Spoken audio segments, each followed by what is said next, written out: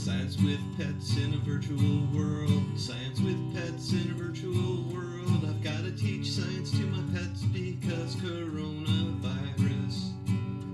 Science with pets in a virtual world. Science with pets in a virtual world. Science with pets in a virtual world. I've got to teach science to my pets because corona.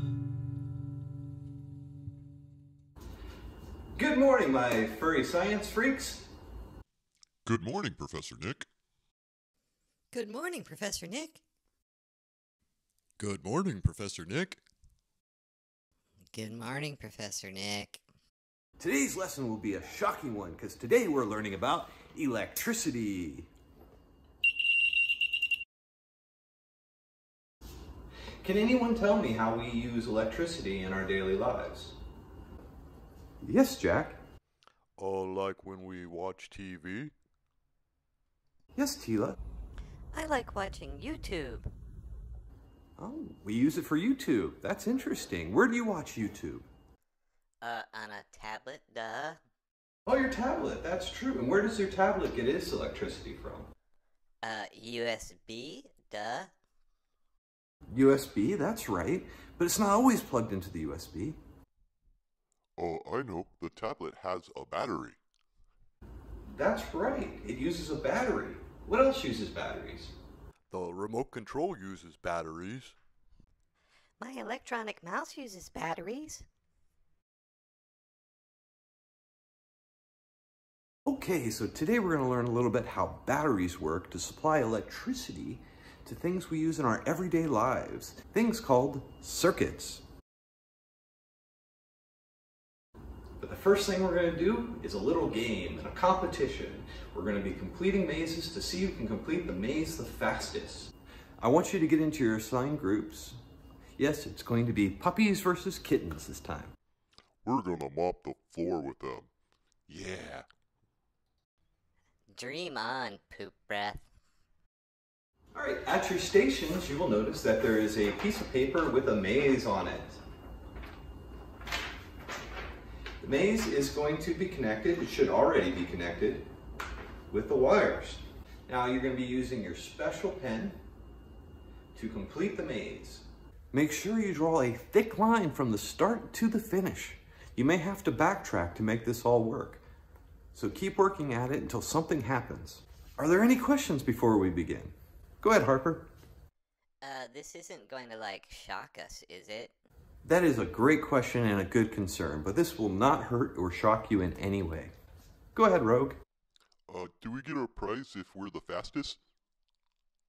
Good question. The team that's the fastest will get ice cream. Yay, ice cream! All right. Okay, if there are no more questions, all right, are you ready? One, two, three.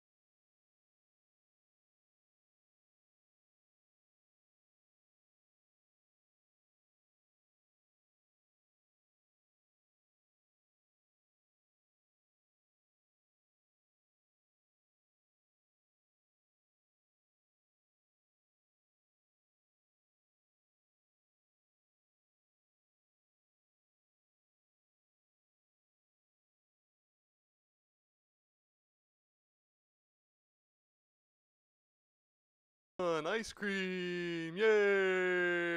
Good job, everybody. I hope that was fun. Let's talk about what we might have learned here. Why did completing the maze make the buzzer sound? Um, maybe because, um, like, the electricity went through the ink, maybe? Uh-huh. Interesting. You thought the ink was able to pass the electricity. Okay. And, and does anyone remember what we call uh, something that can pass electricity?